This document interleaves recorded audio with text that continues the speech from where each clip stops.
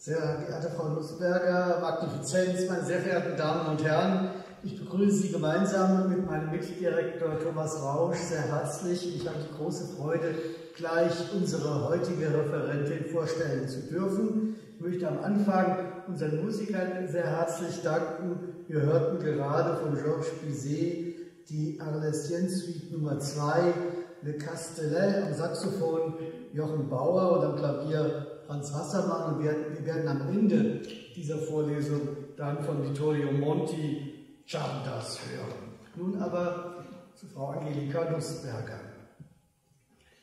Sie verfügt über Kompetenz in Multisperspektivität. So möchte ich die Vorstellung beginnen. In ihrem wissenschaftlichen Werk hat sie über juristische Themen gearbeitet, die weder leicht zu definieren noch leicht durchzusetzen sind. Doch Juristinnen können sich, anders als Geistes- oder Sozialwissenschaftler, nicht damit begnügen, ihre Gegenstände zu dekonstruieren oder verschiedene Lösungen tolerant und nebeneinander auszuhalten. Als Richterin und als Vizepräsidentin am Europäischen Gerichtshof für Menschenrechte muss man Entscheidungen fällen und damit auch den Transfer in die Gesellschaft und ins Leben gestalten. Angelika Nussberger war für diese Tätigkeit am Europäischen Gerichtshof sehr gut vorbereitet. Sie lernte schon als Studentin der Slavistik wie der Rechtswissenschaft, zwei Fächer, die sonst nicht so oft zusammen studiert werden, Slavistik und Rechtswissenschaft, in München und Straßburg verschiedene Wege und unterschiedliche Welten kennen. Als Juristin wie als Hochschullehrerin absolvierte sie nach den juristischen Staatsexamina in München und Heidelberg eine zügige, erfolgreiche Karriere. Promotion 1993 in Würzburg, wissenschaftliche Referentin am Max-Planck-Institut für ausländisches und internationales Sozialrecht in München, Forschungsaufenthalt in Harvard, Rechtsberaterin am Europarat. Gleich nach der Habilitation 2002 in München wurde sie als Professorin an die Universität zu Köln berufen, wo man ihr 2009 ein neu geschaffenes Prorektorat für akademische Karriere, Diversität und Internationales anvertraute.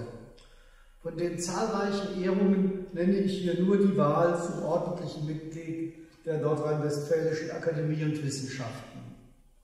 2010 wurde Angelika Nussberger zur von Deutschland entsandten Richterin am Europäischen Gerichtshof für Menschenrechte gewählt.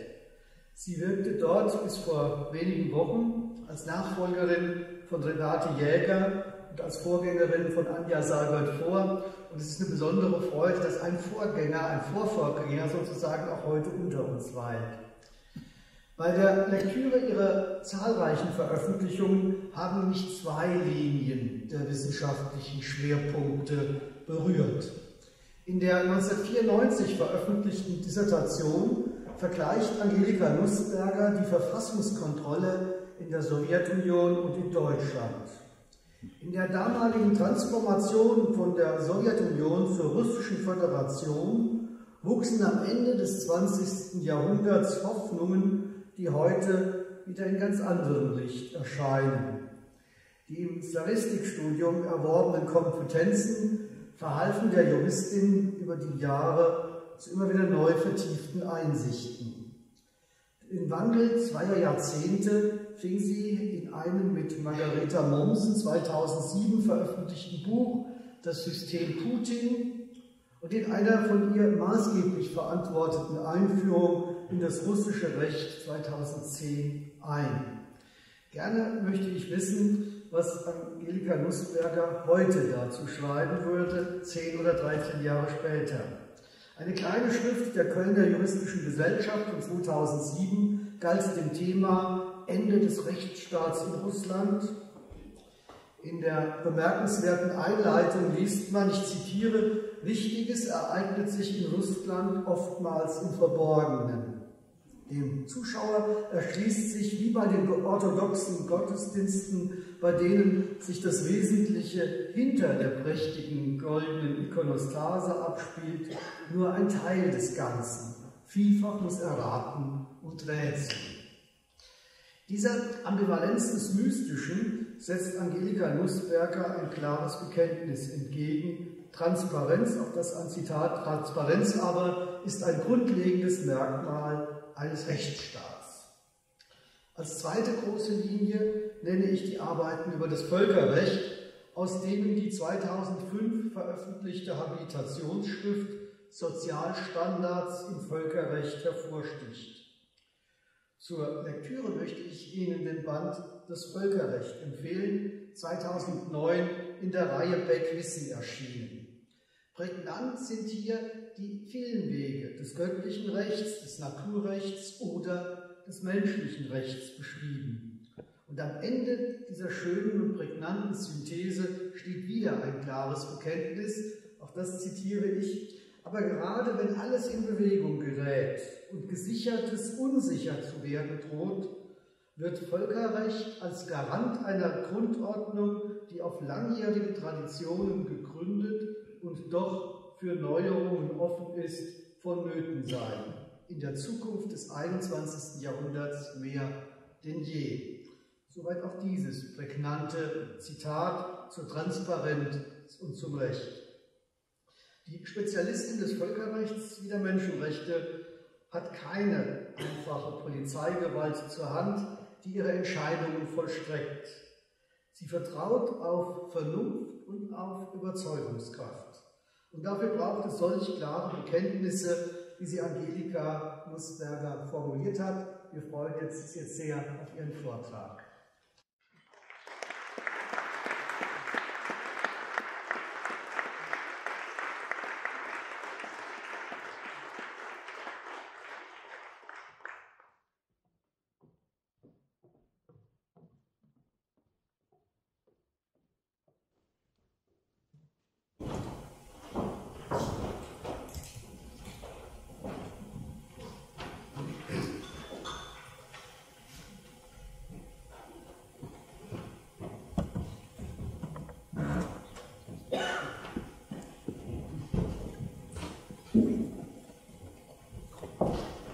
Magnifizenz, Spektakuläres, sehr geehrte Direktoren des Massilius-Kollegs, liebe Kolleginnen und Kollegen, sehr geehrte Damen und Herren.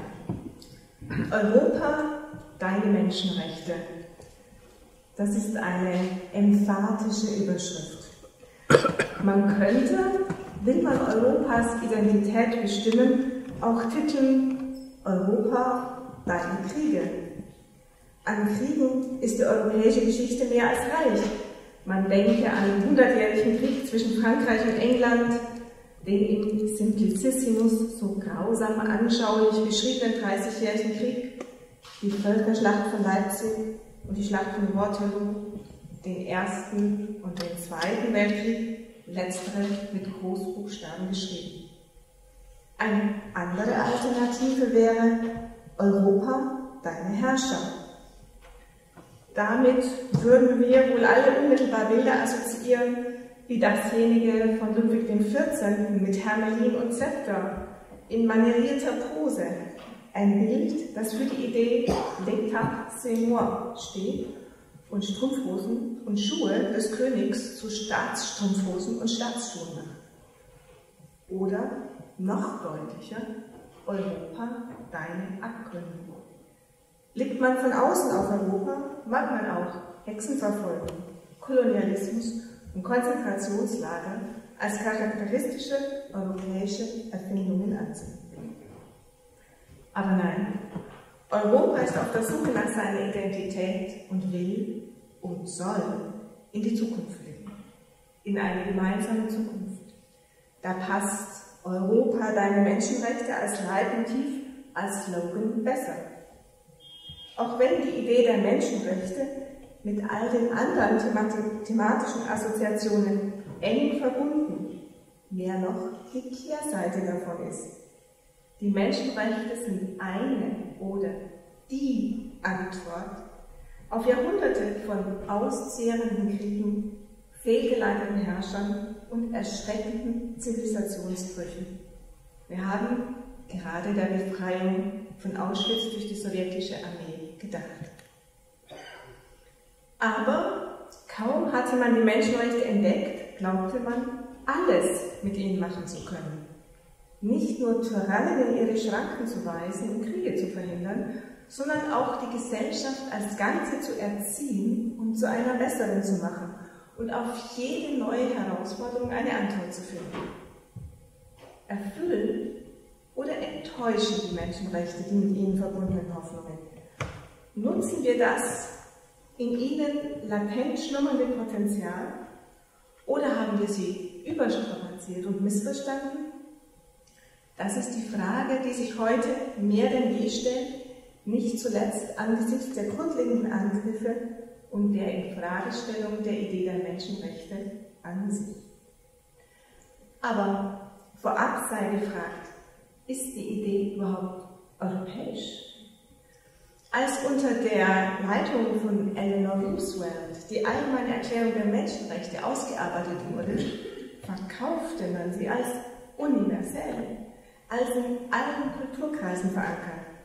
In einer UNESCO-Studie aus dem Jahr 1948 wurden Denker aus fernen Weltregionen wie Mahatma Gandhi und Chung Shulo zu Konzepten, die in der chinesischen und indischen Kultur unter die Überschrift Menschenrechte passen würden, befragt, um einen zu engen Ansatz zu vermeiden. An der Erstellung des Textes waren 56 Staaten beteiligt. Die Endfassung trägt ebenso die Handschrift des Franzosen René Cassin wie des Libanesen Charles Malik. Mittlerweile gibt es rein quantitativ gesehen auf der universellen Ebene sicherlich mehr Instrumente zum Menschenrechtsschutz als auf der europäischen Ebene. Und nicht nur Europa, sondern auch andere Weltregionen sind stolz auf ihre Kodifikationen, die Afrikaner, die Araber, die Südamerikaner. Ist die Europäischheit der Menschenrechte also eine Erfindung, mehr Wunsch als Wirklichkeit? Wohl kaum. Auch wenn der Tango in Paris getanzt wird, so stammt er doch aus Argentinien. Übertragen auf unsere Fragestellung, auch wenn die Idee der Menschenrechte in den Vereinigten Staaten in die Verfassung integriert wurde, auch wenn sie in alle Welt ausgestrahlt hat, so ist sie doch eingebettet in die europäische Geschichte, ist sie verbunden mit der Philosophie der Aufklärung und der französischen Revolution. Für die USA wie für alle anderen bleibt sie ein Exportprodukt. Zudem hat Europa pragmatisch zupackend nach dem Zweiten Weltkrieg etwas gemacht aus der Idee. Hat sie für einen, und das ist das Besondere, grenzüberschreitenden Neuanfang genutzt. Es war ein Bekenntnis, feierlich niedergelegt und feierlich wiederholt in allen Präambeln, die man in Freundschafts-, Partnerschafts- und Kooperationsverträgen bis hin zum Gründungsvertrag der Europäischen Union voranstellen konnte. Wir glauben an die Menschen. Aber das allein genügte nicht, man wollte aus dem Bekenntnis ein Werkzeug machen. So hat man einen Gerichtshof geschaffen, einen Wächter und Interpreten. Dieses Modell existiert nun seit fast sieben Jahrzehnten. Es wurde erweitert und verfeinert. Eine erste Menschenrechtskodifikation der Europäischen Menschenrechtskonvention aus dem Jahr 1950 hat man im Jahr 2000 eine zweite an die Seite gestellt, die Europäische Grundrechtecharta, sodass nunmehr auch zwei Gerichte über Grund- und Menschenrechte judizieren. Die Frage aber ist, haben die Menschenrechte gehalten, was sie versprochen haben? Und damit komme ich zum ersten Punkt, Menschenrechtsschutz und Krieg. Die erste Herausforderung ist eben Europa und seine Kriege. Welche Antwort hat der Europäische Gerichtshof für Menschenrechte auf der Grundlage der Europäischen Menschenrechtskonvention darauf gegeben. Grozny, Oktober 1999. Krieg zwischen der russischen Armee und tschetschenischen Widerstandskämpfern. Ein Krieg, der nicht Krieg genannt wird, zumindest hat sich Russland nicht auf Artikel 15 EMRK die entsprechende Regelung zum Notstand berufen. Am 26. Oktober 1999 werden heftige Luftangriffe auf Grozny geflogen. Der Rundfunk meldet, am 29. Oktober werde für Zivilisten ein Korridor geschaffen, auf dem man sicher nach Ingushetia gelangen könne. Ein großer Konvoi von Zivilisten setzt sich in Bewegung, wird aber an der Grenze zwischen Tschetschenien und Ingushetien vom russischen Militär am Weitergehen gehindert. Als nach einigen Stunden Wartezeit bekannt gegeben wird, man könne die Grenze an diesem Tag nicht mehr passieren, kehren die Menschen um. In dieser Situation des Durcheinanders fliegen russische Flugzeuge über den Konvoi und werfen Bomben ab. Metka, Tschutschujewna, Isaievas Kinder und Schwiegertochter werden getötet, sie selbst verletzt. Am 25. April 2000 wendet sie sich an den Europäischen Gerichtshof für Menschenrechte und macht eine Verletzung des Rechts auf Leben nach Artikel 2 EMAK geltend. Die russische Regierung argumentiert, der Einsatz von Gewalt sei nach Artikel 2 Absatz 2a gerechtfertigt gewesen, da sich unter die Zivilisten tschetschenische Kämpfer gemischt hätten und ihre Tötung eine militärische Notwendigkeit gewesen wäre. Allein schon die Tatsache, dass über eine derartige Frage vor einem europäischen Gericht im Jahr 2005 debattiert wird, ist eine Sensation. Der Krieg, noch mehr das Leiden Einzelner, wird auf die Bühne des Rechts gebracht. Regelungen zum Schutz von Zivilisten in militärischen Konflikten gibt es seit dem 19. Jahrhundert. Die Regeln des humanitären Völkerrechts, die auf Initiative des Schweizers Henri Dunant zurückgehen, wurden in mehreren Schüben, beginnend mit der Genfer Konferenz 1863, dann bei den Haager Friedenskonferenzen von 1899 bis 1907, nach dem Zweiten Weltkrieg 1949 und 1977 kodifiziert. Aber keinem Gericht hat man die Kompetenz zuerkannt, über die Einhaltung der Normen zu wachen und Verletzungen zu monieren. Nunmehr aber diskutiert Metka Tschutschujewna Isajeva, eine einfache Frau aus Tschetschenien, ein Opfer unter Tausenden, vor einem mit Richtern aus 47 verschiedenen Ländern zusammengesetzten Gericht über Recht und Unrecht im Krieg in Tschetschenien. Und sie gewinnt, der Gerichtshof gibt ihr Recht. Die russische Regierung hatte sich im Verfahren geweigert, die relevanten Dokumente zur internen Aufklärung des Falles zur Verfügung zu stellen. Daher konnte der Gerichtshof nicht abschließend beurteilen, ob der russische Angriff, wie von der Konvention gefordert, einen legitimen Zweck, hier den Schutz der Menschen vor der, rechtswidrigen Gewaltausübung der tschetschenischen Kämpfer verfolgte. Er argumentierte aber, dass selbst wenn man einen derartigen legitimen Zweck unterstellte, der Angriff nicht mit der nötigen Sorgfalt für den Schutz des Lebens der Zivilisten geplant und durchgeführt worden sei. Es gäbe noch nicht einmal entsprechende Regeln. Russland wurde wegen einer Verletzung von Artikel 2 EMAK des Rechts auf Leben verurteilt und musste Metka Tschutschujewna Isaeva 25.000 Euro immateriellen Schadensersatz zahlen. Dieses Ergebnis wird ausführlich begründet.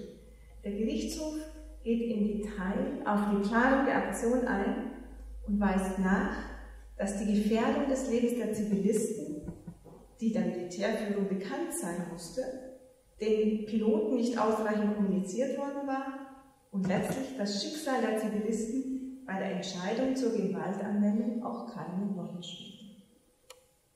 Vergleichbare Entscheidungen gibt es viele. Ebenso wie es in Europa nach dem Zweiten Weltkrieg noch viele kriegerische Auseinandersetzungen gab. 1974 kämpften die Türken gegen die griechischen Zyprioten und besetzten das Land von 1999 bis 2009 forderte der überaus grausame Zweite Krieg in Tschetschenien schätzt 100.000 zivile Opfer und kostete 10.000 Soldaten das Leben. Der bewaffnete Konflikt zwischen Russland und Georgien im Jahr 2008 ist als Fünf-Tage-Krieg in die Geschichte eingegangen. Russland hat im Jahr 2014 die Ukraine, die Krim annektiert die kriegerischen Auseinandersetzungen im Donbass-Gebiet dauern an. Ähnliches lässt sich von dem Streit um Nagorno-Karabach sagen. Auch hier ist es eher eine Waffenruhe als ein Frieden und gibt immer wieder Tote. All dies geschieht unter der Ägide der Europäischen Menschenrechtskonvention. All dies sind Auseinandersetzungen zwischen europäischen Staaten, die, anders als die Nachfolgestaaten des ehemaligen Jugoslawien, an die Konvention gebunden sind. Zudem greifen europäische Staaten außerhalb von Europa militärisch ein, in Irak, in Afghanistan, in Syrien, in Mali, am Horn von Afrika vor der Küste Somalias. Die Liste ist zu lang, um alle Brandorte aufzuzählen. Damit komme ich zu der entscheidenden Frage. Haben die Menschenrechte den Krieg in den Bann geschlagen? Ihn eingehegt? Verhindern konnte das Menschenrechtssystem keinen Krieg. Es gab Versuche, aber sie waren nicht erfolgreich. So suspendierte man das Verfahren um die Aufnahme der Russischen Föderation in den Europarat im Jahr 1995 aufgrund des ersten Tschetschenienkriegs und machte Frieden für die Bedingungen für die Aufnahme im Jahr 1996. Die MAK wurde 1996 unterzeichnet und trat 1998 in Kraft. Nichtsdestotrotz brach 1999 der zweite Tschetschenienkrieg aus. Ein zweites Beispiel ist der Fünftagekrieg. Als russische Truppen in Georgien einmarschierten, nachdem georgische Truppen in Südossetien angegriffen hatten, beantragte Georgien beim Europäischen Gerichtshof eine Allentscheidung auf der Grundlage des Rechts auf Leben und forderte eine Anordnung, weitere Angriffe zu unterlassen. Der Gerichtshof richtete eine entsprechende Eilentscheidung gegen beide Staaten, allerdings ohne Wirkung. Wirksam ist vielleicht das indirekt auch auf der EMRK beruhende Rechtsschutzsystem in Bosnien-Herzegowina. Dort ist die Konvention Teil der Verfassung und wird von neun Richtern, zwei Bosniaken, zwei Kroaten, zwei Serben und drei internationalen Richtern durchgesetzt. Damit wird seit dem Ende des Krieges ein fragiler Frieden gewährleistet. Aber das eigentliche Instrument zur Friedenssicherung ist natürlich nicht die EMAK, sondern die UN-Charta, mit dem Gewaltverbot. Im Bann schlagen konnte die MAK den Krieg daher nicht, konnte sie ihn einhegen.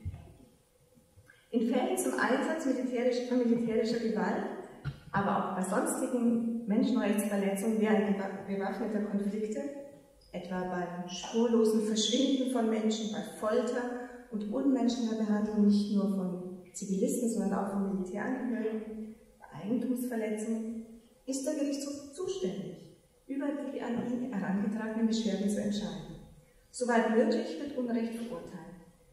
Die Kompensationen haben sicherlich eher eine symbolische Wirkung, aber sie sind nicht nichts. Dass derartige Urteile den Opfern helfen können, das Geschehene zu verarbeiten, dürfte nicht zu bezweifeln sein. Im besten Fall wirken die Urteile über den Einzelfall hinaus und geben Orientierungslinien.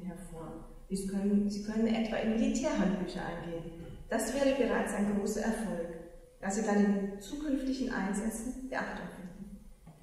Das Wichtigste aber ist, dass mit der EMAK ein Bewusstsein für die Fortgeltung der Menschenrechte im Krieg geschaffen wird. Nicht nur das humanitäre Völkerrecht, sondern auch die Europäische Menschenrechtskonvention gilt im bewaffneten Konflikt. Letztere zählen, weil es einen Gerichtshof gibt, der sie durchsetzt. Russland hat in dem erwähnten Fall, ebenso wie in vielen anderen Fällen, Kompensationen an Opfer gezahlt. Ebenso wie andere Mitgliedstaaten ihre entsprechenden Pflichten nachgekommen sind, etwa Großbritannien, das wegen der unzureichenden Aufklärung von Todesfällen von Zivilisten im Irakkrieg verurteilt wurde. Aber mehrere Staaten haben sich gerade in heiklen Fällen von Krieg und Frieden auch manches Mal geweigert, den Urteilen Folge zu leisten. Dies insbesondere in den Urteilen auf der Grundlage von zwischenstaatlichen Verfahren, in denen nicht Einzelne geklagt haben, sondern ein Staat gegen den anderen vorgegangen ist. So hat die Türkei auf ein Urteil des Gerichtshofs aus dem Jahr 2014, in dem sie verurteilt worden war für die Nichtaufklärung des Verschwindens von 1456 Menschen im Zypernkrieg in den 70er Jahren, 90 Millionen Euro an die Familienangehörigen zu zahlen, mit einem kompromisslosen Nein reagiert. Bis heute hat sich dies nicht geändert. Ja, man kann behaupten, der Gerichtshof habe auf die Frage Europa, wie steht es mit deinen Kriegen, eine Antwort gegeben. Aber es ist eine Antwort, die so mancher nicht hören wollte. Auch kann der Gerichtshof nur in wenigen Einzelfällen helfen, in denen mutige NGOs oder Rechtsanwälte den Opfern zur Seite stehen. Mir ist nicht bekannt, dass etwa Bombardements von Zivilisten in Syrien vor den Gerichtshof gebracht worden wären. Hinter den Ergebnissen, die ich referiert habe, stehen im Übrigen hochkomplexe Rechtsfragen, etwa nach dem Umfang der Jurisdiktion ein Staat nur Flugzeuge, aber keine Bodentruppen, übt er dann Herrschaftsmacht über das Territorium des anderen Staates aus.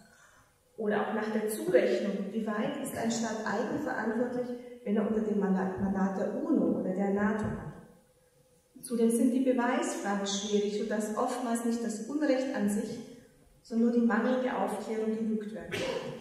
Auch kann Geld natürlich nur bedingt helfen, die Erfüllung weiterer in den Urteilen festgelegter Pflichten, wie die Aufklärung des Verschwindens von Menschen im Krieg, bleibt oftmals Desiderat. Aber geht es um die Einhegung des Krieges, sind kleine Erfolge große Errungenschaften. Europa mit deinen Menschenrechten hast du das gut gemacht, vielleicht sogar besser als erwartet. Damit komme ich zum zweiten Punkt, Menschenrechtsschutz und liberale Herrschaft. Die zweite Herausforderung lässt sich unter die Überschrift Europa, deine Herrscher stellen. Was vermag der Gerichtshof gegen illiberale Herrschaft auszurichten? Nach einer demokratischen Hoffnungszeit, in der man annahm, das demokratische Modell habe seine Alternativlosigkeit mit dem Fall der Mauer der Neuorientierung der kommunistischen Regime erfolgreich unter Beweis gestellt, hat die Demokratie plötzlich Attribute bekommen, etwa gelenkte Demokratie in Russland oder illiberale Demokratie in Ungarn, in der Türkei und in Polen. Bei Aserbaidschan kann man inzwischen wohl bereits von einer nur noch auf dem Papier Demokratie sprechen. Wie ist der EGMR damit umgegangen? Welche Antworten hat er gegeben? Die Möglichkeit, rote Karten zu verteilen. Die wirksamste rote Karte ist die Verurteilung wegen expliziten politisch motivierten Machtmissbrauch nach Artikel 18 der Konvention. Die Zahl dieser Fälle hat in den letzten Jahren eklatant zugenommen.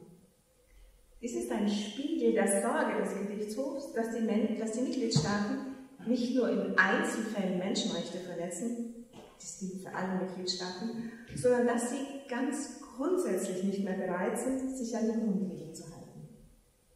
Während die Rechtsprechung zu derartigen Fällen von Machtmissbrauch über lange Jahre sehr zurückhaltend war, im Fall Khodorkovsky etwa hat der Gerichtshof von einer Verurteilung nach Artikel 18 abgesehen, hat er mittlerweile die Schwelle gesenkt und sowohl mit Blick auf die Beweisanforderungen als auch mit Blick auf den Umfang des Machtmissbrauchs Artikel 18 häufiger angewandt. Hat er ursprünglich gefordert, dass die gesamte Machtmaschinerie, Staatsmaschinerie, von Anfang bis Ende ausschließlich zu einem von der Konvention nicht gedeckten Zweck eingesetzt worden sein müsse, so hat er später auch Missstände anerkannt, etwa wenn gegen einen ehemaligen Regierungschef und einen Oppositionspolitiker ein Strafverfahren wegen eines berechtigten Verdachts einer Straftat eingeleitet wird, dann aber dann zum Missbrauch wird, ihn politisch auszuschalten. Inzwischen hat der Gerichtshof 15 Urteile auf der Grundlage von Artikel 18 gefällt, fast 75 Prozent davon in den letzten fünf Jahren. Sechs Artikel 18 Urteile, von denen fünf rechtskräftig sind, betreffen Aserbaidschan, drei Russland, zwei die Ukraine, eines Georgien, eines Moldawien und zwei, allerdings noch nicht rechtskräftige Urteile, die Türkei. Und auf die Türkei will ich im Folgenden auch eingehen, um die menschenrechtliche Auseinandersetzung mit einem zunehmend als illiberal charakterisierten System zu erläutern. Der große Einschnitt in der politischen Entwicklung der Türkei im letzten Jahrzehnt war der Putschversuch im Jahr 2016. Er hat etwa 250 Todesopfer und über 2000 Verletzte gefordert und die Gesellschaft zweifellos traumatisiert. Dass daraus eine umfassende Strafverfolgung und der Putschisten und ihrer Anhänger folgen würde, versteht sich von selbst. Kritisiert wird aber, dass der Putsch genutzt worden sei, um in Bausch und Bogen gegen alle potenziellen Gegner von Präsident Erdogan vorzugehen. So argumentieren etwa die Drittintervenienten im jüngst entschiedenen Fall Kavala gegen die Türkei, ich zitiere, Following the attempted military coup on 15th July 2016, the government has had misused legitimate concerns in order to redouble its already significant crackdown on human rights inter alia by placing dissenters in detention. Die Rolle des EMR bei der Bewältigung der auf den Putsch folgenden Menschenrechtsverletzungen wird überwiegend sehr kritisch gesehen. Dies vor allem aufgrund der 2016 und 2017 gefällten Unzulässigkeitsentscheidungen, mit denen der EMR die betroffenen Beschwerdeführer an die in der Türkei zur Verfügung stehenden Instanzen, die auf Anregung der Venedig-Kommission und Parlamentarischen Versammlung des Europarats neu geschaffenen Kommissionen, die Verwaltungsgerichte sowie das türkische Verfassungsgericht verwiesen hat. Diese Rechtsprechung folgt strikt dem Subsidiaritätsgrundsatz, nachdem der EMR erst und nur dann zuständig ist, wenn alle innerstaatlichen effektiven Rechtsmittel erschöpft sind. Gestritten wird aber darüber, ob Rechtsmittel in der Türkei nach dem Putschversuch überhaupt noch als effektiv angesehen werden können, nachdem eine große Zahl der Richter und sogar Richter des türkischen Verfassungsgerichts entlassen worden waren. Aber während der Gerichtshof bei den oben genannten Tschetschenien-Fällen davon ausging, dass die Beschwerdeführer in Russland in der Tat kein effektives Rechtsmittel zur Verfügung hatten und sich daher unmittelbar an Straßburg wenden konnten, wurden die türkischen Beschwerdeführer darauf verwiesen, erst den türkischen Instanzenzug zu durchlaufen. Anders als in Russland sei es hier nicht aussichtslos, Abhilfe zu erlangen. In der Tat waren nach Angabe von Human Rights Watch mittlerweile beispielsweise 2300 von 36.000 Beschwerdeführer, die ihre Arbeit verloren hatten, erfolgreich und wurden wieder eingestellt oder entschädigt. Auch in einigen spektakulären Fällen wie bei dem Journalisten Sahin Alpay und Mehmet Hassan Altan hat das Verfassungsgericht zu ihren Gunsten entschieden. Die Subsidiarität des Europäischen gegenüber dem nationalen Rechtsweg ist eine Conditio sine qua non für die Mitgliedstaaten, um die Urteile des EGMR zu akzeptieren. Erst einmal muss ihnen selbst die Möglichkeit gegeben werden, potenzielle Menschenrechtsverletzungen wieder gut zu machen. In Extremfällen wie bei der Verhaftungsfälle Verhaftungswelle nach dem Putschversuch schwächt zweifellos die unmittelbare Wirksamkeit des Schutzmechanismus deutlich ab. Insbesondere bei willkürlichen Verhaftungen ist dies bitter. Die Kritiker scheinen daher daran zu zweifeln, ob der Gerichtshof überhaupt seine Mission erfüllen kann. Ich zitiere. The European Court of Human Rights is not a tribunal to ensure the change of non-democratic countries into democratic ones.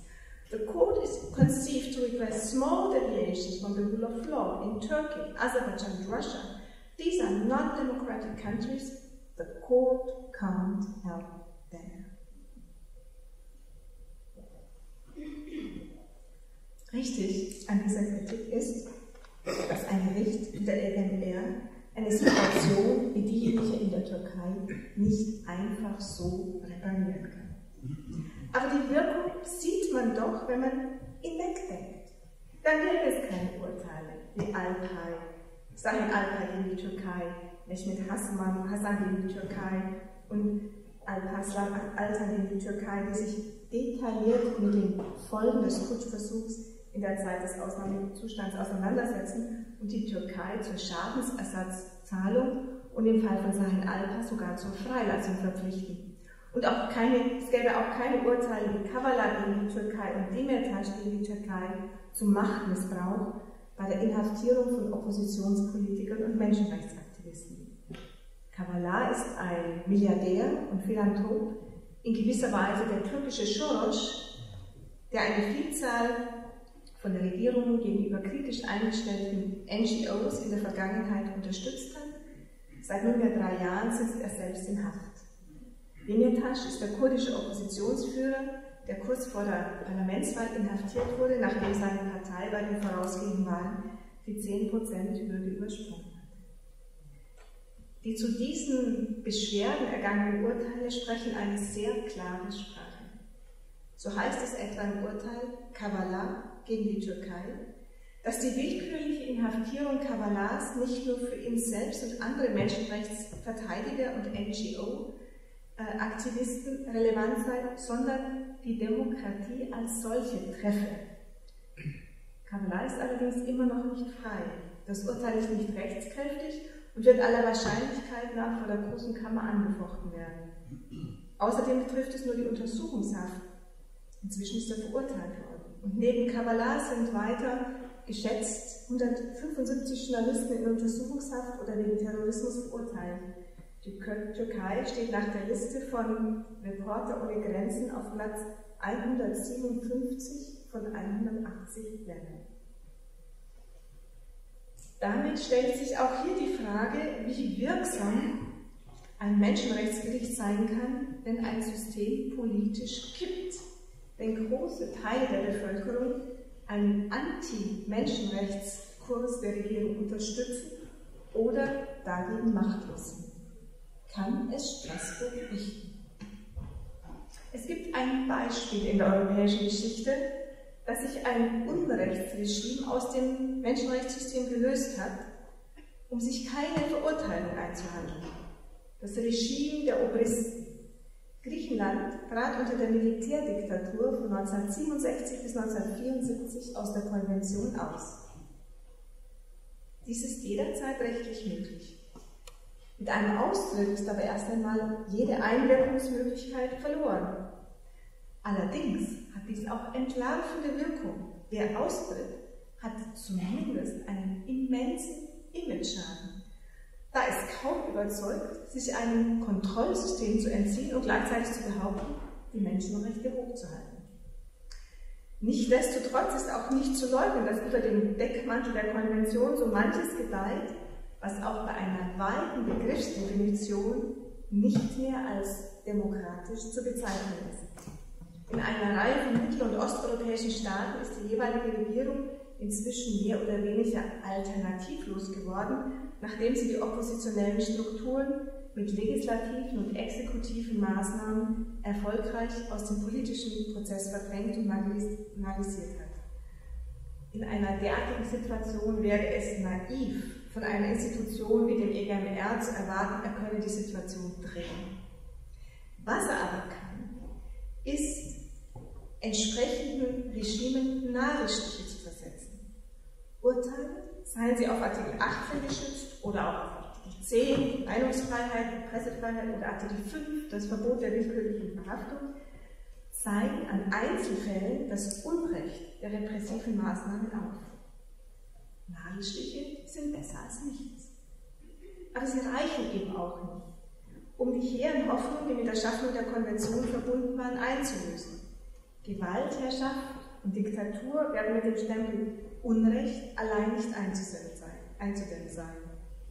Bestimmte Entwicklungen ex an den Pranger zu stellen, mag aber helfen, ihnen Einhalt zu gebieten, bevor die Road to Unfreedom zur Einbahnstraße.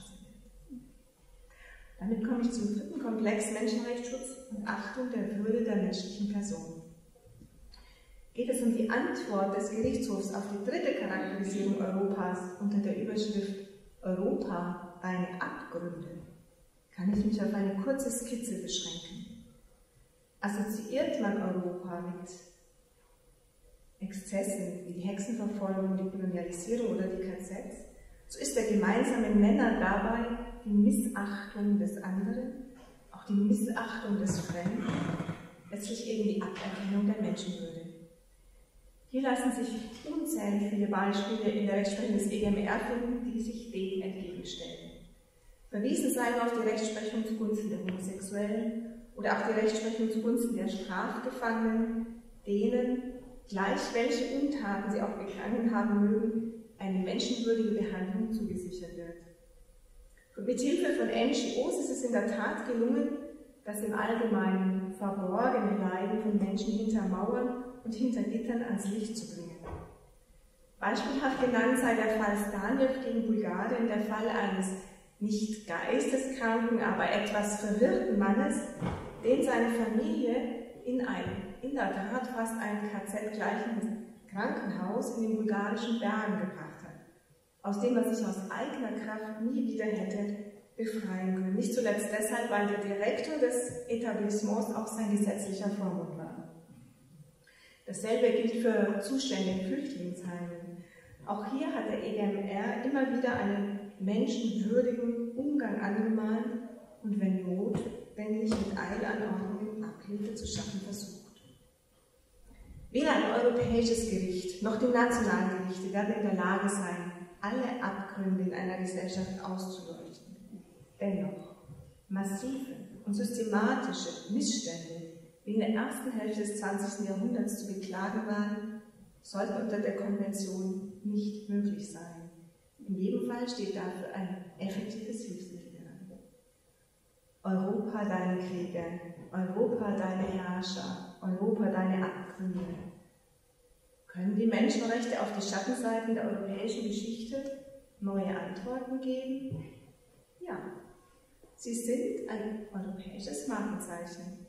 Wir sind zu Recht stolz auf das Erreichte, feiern zu Recht dieses Jahr das 50-jährige Bestehen der EMAK. Europäische Menschenrechte sind Inspiration für viele.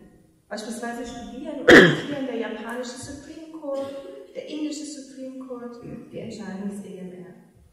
Dennoch sind weder die Menschenrechte im Allgemeinen noch die Europäische Menschenrechtskonvention im Besonderen ein Wunderrezept. Und sie stehen zwischen dem Universalismusanspruch, von dem die soeben geschilderten drei Anwendungsgebiete Zeugnis ablegen, und der Vorstellung, sie wären nicht nur vom Zeitgeist abhängig, sondern würden ihn mitgestalten. Und damit komme ich zur Kritik an den Menschenrechten. Ein internationales Gericht, das auf der Grundlage eines völkerrechtlichen Vertrages mit sehr offenen Begriffen nicht nur wie Verbot der Folter und Recht auf Leben, sondern auch Respekt für Privatleben oder Schutz der Familie arbeitet, entfaltet eine bemerkenswerte Eigendynamik. Was ist Respekt für das Privatleben? Auch die Registrierung oder die Verweigerung der Registrierung einer durch Leihmutterschaft vermittelten Geburt, auch die Gewährung einer ausreichenden Invalidenrente, um ein selbstbestimmtes Leben führen zu können, auch der Schutz von Lärm, vor Lärmbelästigungen beim Flugverkehr. Antwortet man auf all diese Fragen Ja, schließt man im Grunde das gesamte Familienrecht, Sozialrecht und Umweltrecht mit ein. Letztlich lässt sich dann jedes Rechtsproblem auch als Menschenrechtsproblem konstruieren. Eine dynamische Interpretation entsprechen sich ändernden Gegebenheiten, etwa mit der Anwand, äh, Anpassung des Begriffs Familie an neue Entwicklungen, ermöglicht es, auf immer neue Fragen, immer neue Antworten zu geben. Dies aber ist die ursprüngliche Aufgabe von Politik. Damit überschneiden sich die Bereiche, die eigentlich als getrennt konzipiert waren, indem der Gerichtshof zu den heikelsten rechtspolitisch umstrittensten Reformvorhaben auf der Grundlage von Einzelbeschwerden entscheidet, wird er zu einem mächtigen, für Kritiker nicht legitimierten politischen Player, zieht den demokratisch gewählten Gesetzgeber Grenzen. In der Gegenwart scheint die Stimmung in allen Mitgliedstaaten der dynamischen Menschenrechtsrechtsprechung gegenüber am Kippen zu sein allen Verdiensten zum Trotz wird die EMAK nicht nur von jenen, von denen wir es erwarten, in gewissermaßen natürlichen Feinden, sondern auch von jenen, von denen wir es überhaupt nicht erwarten würden, ihren langjährigen Unterstützern anerkannt. Im Vordergrund der Kritik steht die Besorgnis vor einer übermäßigen Fremdbestimmung der je unterschiedlichen Dynamiken unterliegenden nationalen Gemeinschaften und der Widerstand gegen eine europäische Vergemeinschaftung. Die Angriffe sind prinzipiell kategorisch oder inhaltlich kontextgebunden. Es mag als aufschlussreich gewertet werden, dass sich unter den besonders heftigen und auch einflussreichen Kritikern des Menschenrechtsschutzes in Europa mehrere englische Höchstrichter finden, wie etwa Lord Hoffman, früher Präsident von Amnesty International, und Lord Sumption, Richter und Historiker. Ihre Kritik zielt ab gegen die aktuelle Form des Menschenrechtsschutzes, lässt aber doch auch Elemente einer ganz grundsätzlich ablehnenden Haltung erkennen, etwa eines, die erinnert an die Haltung eines Jeremy Bentham, der Menschenrechte Nonsense on Stilts genannt hat. Benthams Ausspruch, Menschenrechte zu verteidigen, gleiche Teaching Grandmothers Sucking Eggs, ist in England, anders als in Deutschland, allgemein bekannt und zeigt die Popularität und die Griffigkeit einer beißenden Kritik an den Menschenrechten, die sich gleichermaßen im öffentlichen Diskurs in den Zeitungen niederschlägt. Beißend ist auch die Kritik von Lord Sumption in seiner jüngsten Veröffentlichung unter dem Titel Trials of the State, in der ein ganzes Kapitel Human Rights Human Wrongs widmet. Er argumentiert, dass es nur einen kleinen Kreis tatsächlich fundamentaler Rechte geben könne, die durch Gerichte zu schützen seien. Im Übrigen seien alle Wertkonflikte einer Gesellschaft ausschließlich im politischen Prozess und nicht von Gerichten zu entscheiden. Ansonsten sei dies Totalitarismus. Er verwendet explizit dieses harte Wort. Nun ist, so überspitzt die Kritik sein mag, doch ein gewisser wahrer Kern auszumachen. Wird mit der Konvention ein Leitfaden erstellt, was in einer Gesellschaft akzeptabel oder inakzeptabel ist, der Maßstab ist necessary in a democratic society, so wird Politik nicht nur mit Blick auf eklatante Menschenrechtsverstöße überwacht, sondern ganz allgemein moralisiert. Not necessary wird als menschenrechtswidrig und damit schlecht apostrophiert. Zudem besteht ein rechtlicher Zwang zur Umsetzung dieser moralischen Entscheidungen. Der demokratische Entscheidungsprozess wird damit verengt. Viele Optionen stehen als nicht menschenrechtskonform nicht mehr zur Verfügung. Dies ist insbesondere dann problematisch, wenn die moralischen Inhalte wechseln, wie die Reizthemen Todesstrafe, Gleichstellung von Homosexuellen, Gleichstellung von unehelichen Kindern, Akzeptanz von Militärdienstverweigerung, Akzeptanz von Abtreibung, Verbot von Blasphemie und ähnliches sein. Es ist eine europäische historische Konstante, immer wieder neue Modelle zu entwickeln, um nicht nur den Staat und seine Funktionsweise zu verbessern, sondern auch die Gesellschaft und den Menschen zu erziehen. Man denke an verschiedene Ansätze vom Christentum über Rousseaus Nouvelle Éloise bis zum Kommunismus. Die Menschenrechte werden in ähnlicher Weise zu instrumentalisieren versucht. Instrumentalisieren oder eine Instrumentalisierung gezielt. An dieser Erweiterung ihrer ursprünglichen Funktion scheiden sich die Geister. In erster Linie nicht aus inhaltlichen, sondern aus prinzipiellen Gründen. Letztlich geht es um den Umfang autonomen, voraussetzungslosen Entscheidens. Daher auch Lord Sumptions Totalitarismusvorwurf gegenüber inhaltlichen Eingrenzungen des demokratischen Prozesses. Es macht einen Unterschied, ob eine demokratische Mehrheit die Todesstrafe aus eigener Überzeugung abschafft oder ob man damit eine aus den Menschenrechten entwickelte, nicht aber a priori vorgegebene Pflicht einlöst. Allerdings ist es auch eine Fiktion anzunehmen, Politik könne völlig frei entscheiden. Sie bewegt sich immer in einem von verfassungsrechtlichen und völkerrechtlichen Vorgaben abgesteckten Rahmen. Über die Enge und Weite des Rahmens mag man diskutieren, nicht aber über seine Existenz. Auch kann der Rahmen nicht statisch sein, werden neue Werte, wie eben die Abschaffung der Todesstrafe oder die Gleichberechtigung nicht ehelicher Kinder, im Konsens als neue Inhalte angenommen, können auch sie in diesem verfassungsrechtlichen Rahmen mit werden. Im Übrigen ist die Antwort des Gerichtshofs auf die Kritik eine differenzierte Entscheidungsfindung auf der Grundlage des sogenannten Margin of Appreciation, der bei manchen grundlegenden Fragen unterschiedliche Antworten in den jeweiligen nationalen Gesellschaften zulässt. Neben dieser prinzipiell kategorischen Kritik, die eine Verengung des demokratischen Entscheidungsspielraums moniert, gibt es auch eine inhaltlich kontextgebundene Kritik, bei der, man staune oder staune nicht, die Trennung Ost-West unübersehbar ist. Je mehr auf der Grundlage der Menschenrechte in gesellschaftliche Entscheidungsprozesse eingegriffen wird, desto mehr wird deutlich, dass tiefe Uneinigkeit nicht erst bei letzten Verästelungen, sondern bereits bei den Grundkonzepten besteht. Ein Faktum, das über lange Jahre übertüncht wurde. Die Reformen in Ländern wie Polen, Ungarn, Russland, um die Main Influencers zu nennen, für andere Staaten dies in ähnlicher Weise, machen die Bruchlinien deutlich. Nach dem Ende des Kommunismus als Großalternative zum liberalen System kopierte man im Osten Europas das westliche Modell. Es schien in den 90er Jahren alternativlos zu sein. Die Erfolge des Westens waren blendend. Der Westen war Sehnsuchtsort für jene, die eingezwängt in engen Kommunalwohnungen mit falschen Versprechungen aufgewachsen waren. Sie waren bereit, neue Modelle in Toto allein deshalb zu nehmen, weil der Output gefiel ohne darüber nachzudenken, ob auch die Prämissen stimmen.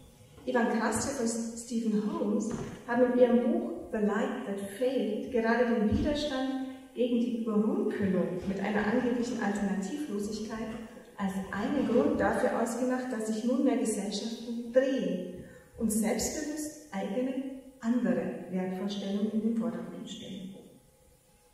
Es gibt ein japanisches Sprichwort, nachdem der Einzelne ungern ein Nagel sei, der aus der Wand herausragt. Das indiziert das Ideal einer homogenen Gesellschaft, in der sich der Einzelne gerne einfügt. Aus der EMRK ergibt sich genau die entgegengesetzte Sicht. Danach ist eine auf Pluralismus, Toleranz und Offenheit beruhende Gesellschaft erstrebenswert. Pluralism, Tolerance and Open-Mindedness sind die leitmotivisch wiederholte Schlagwörter, die in der Rechtsprechung schon in der Frühzeit nachzuweisen sind. Die beiden Modelle verweisen auf eine grundsätzlich unterschiedliche Weltsicht. Differenzen zwischen Menschen bestehen. Dies kann man betonen und positiv finden und die ideale Gesellschaft darauf aufbauen bestimmen. Im Westen gibt die Abkehr vom homogenen Volksbegriff die Richtung vor. Letztere wird als Irrweg und Grundübel des im 20. Jahrhundert übersteigenden Erbes des 19. Jahrhunderts verstanden. Oder aber man kann die Differenzen kaschieren, weil man Sorge vor einem Auseinanderdriften der Gesellschaft hat. Dieses Modell, Modell lehnt Pluralismus als Grundverunsicherung ab und widerspricht der Negativwertung des nationalen Homogenitätsbegriffs, das Grundübel den anderen Ismen wie dem Kapitalismus oder dem Militarismus. Der Clash der unterschiedlichen Sichtweisen wird in kaum einer Gerichtsentscheidung so deutlich wie in Bayew gegen Russland. Dabei ging es um die Anwendung eines russischen Gesetzes zum, so heißt es, Schutz der Moral der Kinder, mit dem die so wörtlich Förderung von Homosexualität unterbunden werden sollte. Das russische Verfassungsgericht hatte das Gesetz als verfassungskonform akzeptiert und sich dabei auf die Notwendigkeit bezogen, ich zitiere, das Kind vor dem Einfluss von Informationen zu schützen, die Gesundheit oder Entwicklung schädigen können, insbesondere Informationen, die mit dem aggressiven Aufzwingen spezifischer Modelle sexuellen Verhaltens verbunden sind und die sozial akzeptierten Modelle von Familienbeziehungen verzerrt wiedergeben Modelle, die den moralischen in der russischen Gesellschaft allgemein akzeptierten Werten entsprechen, so wie sie auch in der Verfassung und der Gesetzgebung zum Ausdruck kommen. Ende des Zitats. Russisches Verfassungsgesetz. Diese Idee von Einheitlichkeit, dieser Idee setzt der EGMR sein Pluralismuskonzept entgegen und argumentiert gerade die Konfrontation der Kinder mit alternativen Sichtweisen und damit mit Diversität, Gleichheit und Toleranz führen zum sozialen Zusammenhalt der Gesellschaft. Warum streitet der Gerichtshof für eine pluralistische Gesellschaft? Warum ist Pluralismus so ein emphatisch gefeierter Wert? Die Idee ist, dass aufgrund der Unterschiedlichkeit der Menschen und der Vielgestaltigkeit der Lebensformen das Streben nach Homogenität zwangsläufig zu übermäßigen Freiheitsbeschränkungen führen müsse. Kreativität unterbinde und eine auf einem offenen Dialog beruhende Weiterentwicklung der Gesellschaft unmöglich mache. Aber das zeigt die gegenwärtige Diskussion. Es darf die These gewagt werden, dass diese Sicht, auch wenn sie noch so sehr in der Menschenrechtsprechung verankert ist, nicht mehr allgemein geteilt wird. Pluralismus, Toleranz und Offenheit sind erlernte Werte. Sie beruhen, wie aufgeführt, aus Lehren aus der Geschichte. Auf der Einsicht, dass die gegenteiligen Konzepte, Konformität, Intoleranz und Geschlossenheit, Vorbedingungen eben jenes Europa der Vergangenheit waren, von dem man sich zu distanzieren versucht. Bruchlinien sind da. Für die weitere Entwicklung wird entscheidend sein, ob sie sich vertiefen oder ob sich die unterschiedlichen Konzeptionen wieder zusammenführen Auch hier ist der EMRK eine gemischte Bilanz auszustellen. Sie hat es vermocht, die 47 wirklich unterschiedlichen Staaten in einer internationalen Organisation zusammenzuhalten. Aber sie konnte nicht verhindern, dass unter der Oberfläche Konflikte über Wertfragen wieder Gehören Menschenrechte zur kulturellen DNA Europas oder sind sie eine ephemere Erscheinung? Wie tief sind sie verankert? Wie unumkehrbar ist Erreichtes? Wie erläutert stellen sich diese Fragen mit großer Dringlichkeit angesichts eines zunehmend kontroversen Diskurses über Menschenrechte in Europa. Diejenigen, die alle zentralen Fragen in Staat und Gesellschaft auf der Grundlage der Menschenrechte regeln wollen, stehen jenen gegenüber, die darin eine Gefährdung echten demokratischen Entscheidens sehen. Die gemeinsamen Werteklammern, mit denen sich Westeuropa nach 1945 und West- und Osteuropa nach 1990 zusammenzuhalten versuchten, drohen überstrapaziert zu werden. Unter der Oberfläche der vage und offen formulierten Konzepte von Freiheit, Gleichheit und Würde verbergen sich sehr unterschiedliche Modelle von politischer Kultur und gesellschaftlichem Zusammenleben, die zunehmend offen miteinander im Wettbewerb stehen. Umso mehr man akzeptiert, dass sich der Gehalt der Menschenrechte dynamisch ändert und auf dieser volatilen Grundlage zentrale Fragen des Gemeinwesens entschieden werden, desto mehr bedeutet Definitionsmacht auch politische Macht. Europas Modell mit seinen starken Gerichten, die sich der Politik der Nationalstaaten, wenn nötig, entgegenzustellen vermochten, war fast sieben Jahrzehnte erfolgreich und einzigartig und hat, ich habe es versucht zu zeigen, zur Herausbildung einer europäischen Identität beigetragen. Der Erfolg darf aber nicht verleiten, als menschenrechtlicher Immerrechthaber Bedenken und Gegenargumente als impertinent zurückzuweisen, statt darauf eine Antwort zu geben. Letztlich ist die Grundspannung des Menschenrechtsmodells zwischen Universalismusanspruch und kontingente Anpassung und Fortentwicklung ist es, was in allen Debatten immer wieder aufbricht. Über Mission und Grenzen des bewährten Modells gilt es daher, fortwährend nachzudenken, im allgemeinen und im individuellen Fall. Die Antworten der Vergangenheit können, aber müssen nicht auch die Antworten der Gegenwart sein. Ich danke Ihnen für Ihre Aufmerksamkeit.